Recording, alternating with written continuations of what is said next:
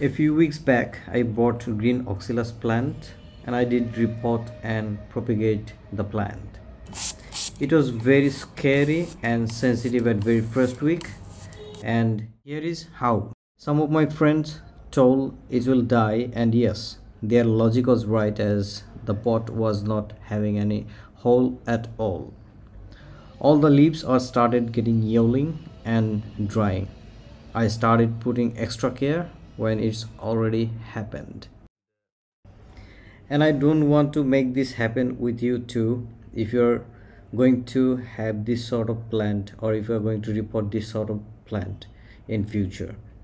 As this type of plant has to care in very first week I started removing extra leaves and dry leaves and trying to keep the space a little bit free for better air circulation and of course you need to move this plant in such place where the direct sunlight cannot reach. It should be in somewhere where all time shades is there and there should be indirect sunlight. I repeat there should be indirect sunlight.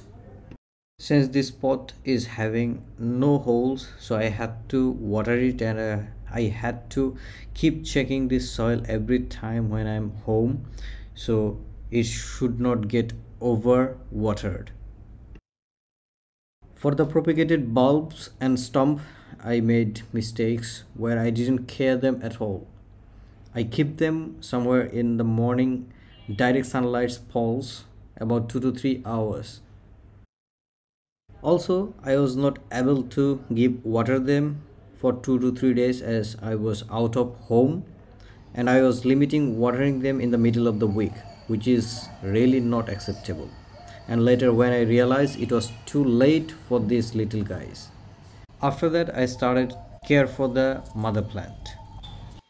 Luckily the mother plant got survived as it was a little stronger than the propagated buds.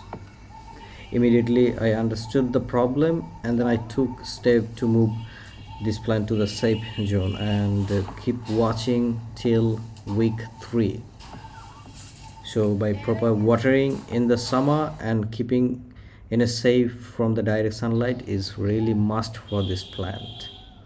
After all in third weeks you'll see the result in this video.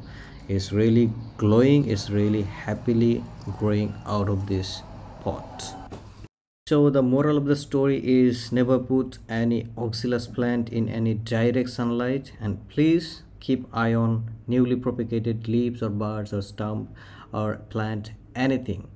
So if if you think this video is helpful please like this video and share with your friends and community. Thanks for watching